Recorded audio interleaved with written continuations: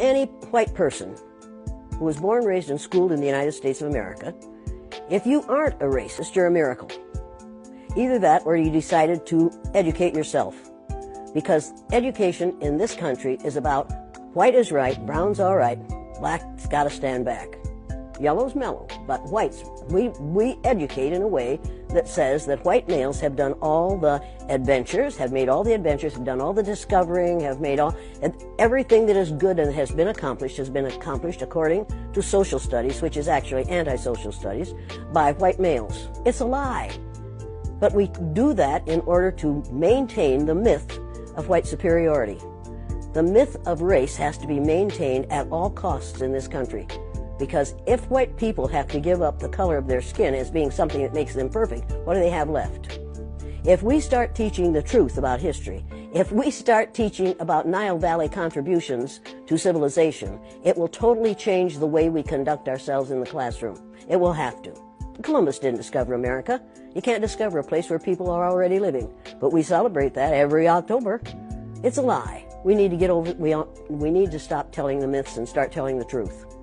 So when you tell people that they're racist, and it, it must have some kind of effect because most people will say, I'm not racist. I'm not a racist. Why, some of my best friends are black. Right. Yeah, and then you say, name one.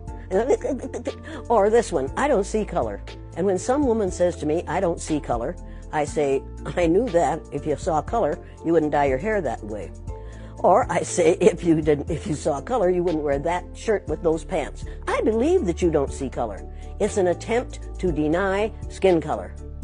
And it's attempt, an attempt to deny what's wrong with seeing the color of my skin. Is it all right for you to see me kind of pink? That's okay for me. I don't mind.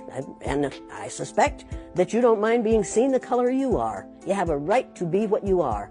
And until people in this country and people in this world get it into their heads that the first modern human beings that evolved on this earth were black women. They evolved in sub-Saharan Africa about 280,000 years ago.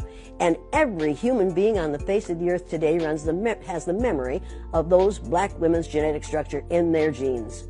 Now, we don't want to admit that, but that's the way it is.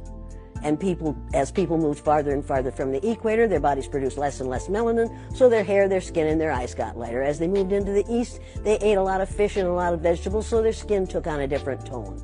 I found, I found that out when I was raising little kids. My husband worked in a supermarket. He had, he was the head of the produce department and they had lots of oranges that they couldn't sell. So he'd bring them home, and I was feeding my kids orange juice like you never saw in your life. They began to have an orange cast to their skin. I thought they had something, a liver problem. So I took him to the doctor, and she said, what are you feeding these kids? I said, well, lots of orange juice. She said, stop it if you want them to stop being orange.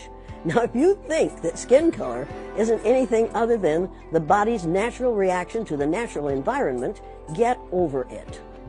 So, if all white people are racist, according to you, can they be reprogrammed? Of course they can.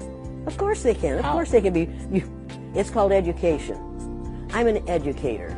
The word educator comes from the root duc dus, which means lead, the prefix e, which means out, the suffix ate, which means the act of, and the suffix or, which means one who does. An educator is one who is engaged in the act of leading people out of ignorance.